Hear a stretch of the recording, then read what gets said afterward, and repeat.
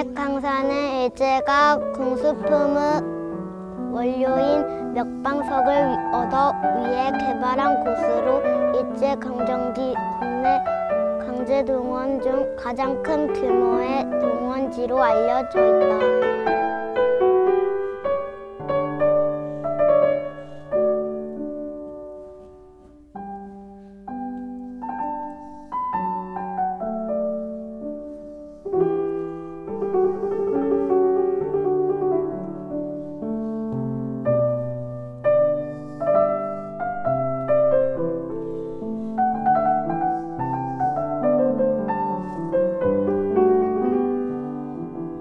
이렇게 보존이 돼 있다면은 어떠한 방식으로든지 일제 강점기 시절에 이런 어려움을 겪었던 그것을 저희들이 우리 국민들이 알릴 수 있는 길은 생기잖아요.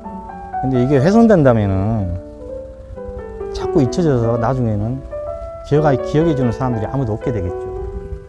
그런 것은 정말 생각해도 쉽지만은 굉장히 안타까운 일이죠.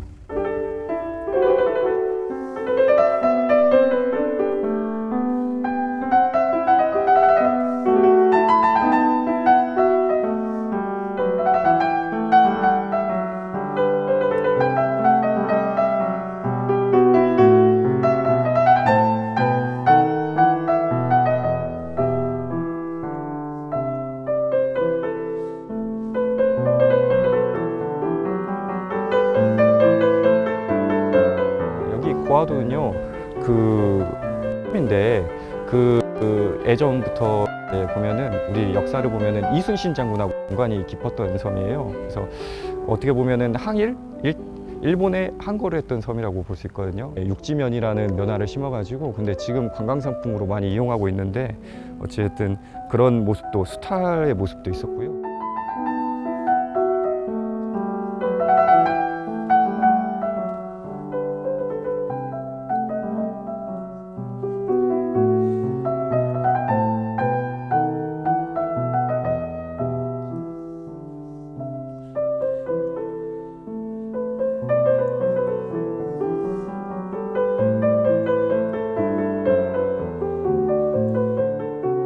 정보를 가면 옛날에 어떻게 이 정보를 팠을까? 이 바위를 이 바위잖아. 이 정보를